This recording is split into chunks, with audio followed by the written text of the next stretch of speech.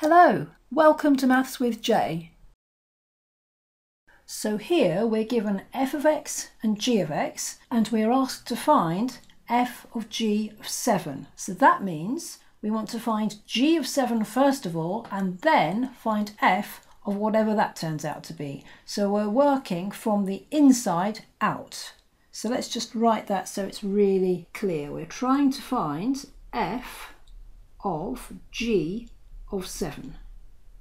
And the first thing that we can do then is to work out g of 7. So let's just work that out over here.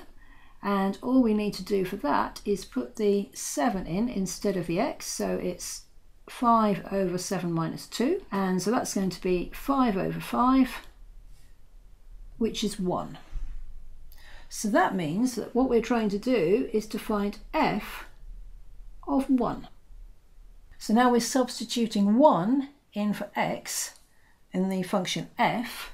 So that's going to be 4 times 1 over 3 times 1 plus 8.